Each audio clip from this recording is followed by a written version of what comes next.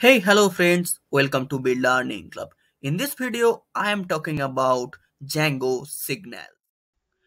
If I tell you what is the first thing come on your mind when I talking about signal? And that is very simple, that is send something or receive something. So, one is the sender and other is the receiver. Let's take an example Whenever I upload a YouTube video, you will get a notification only if you turn on the notification icon. That means I send something, you received something. Exactly, that's the signal. You can see here in this picture also.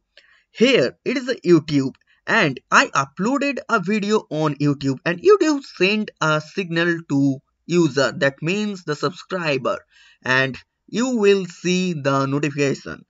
Now the Django signals.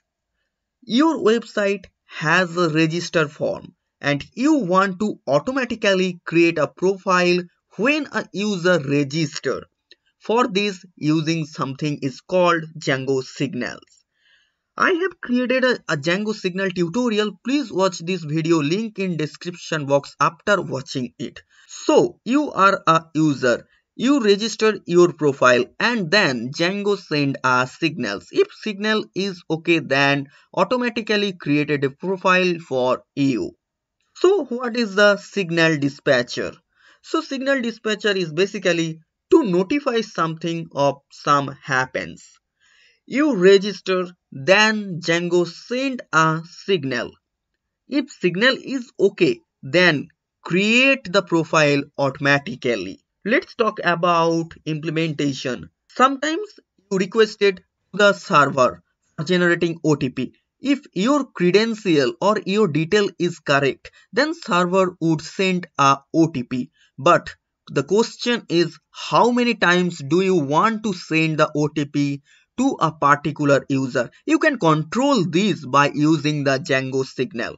If your credentials is okay then signals is okay then server send OTP to the user and you can control how many times you want to send the OTP to any particular user. So that's it for the Django signals and I have uploaded already a Django signal tutorial video. Please watch this and the link is inside the description box. Thank you.